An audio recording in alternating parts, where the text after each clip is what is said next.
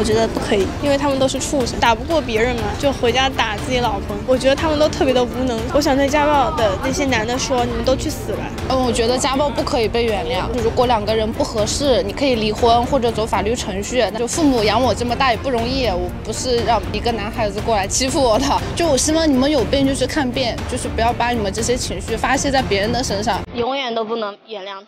如果是他对我使用家暴的话，那我第一反应肯定就是先告诉父母。我爸可能会第一反应就是冲过去把他打一顿。我爸妈都没怎么打过我，你为什么要过来打我？我嫁给你就一定要受你的委屈吗？我觉得不可以被原谅啊！我觉得这种事情还是不要一忍再忍的好，因为家暴只有零次和无数次。我建议每一个女孩子遇到这种事情的时候，勇敢站出来说不，该报警就报警。他们不配拥有爱他们的人。我觉得嘛，家暴是不能被原谅的。你动手打人了，这就上升的不是一个家庭问题，是一个道德乃至法律问题。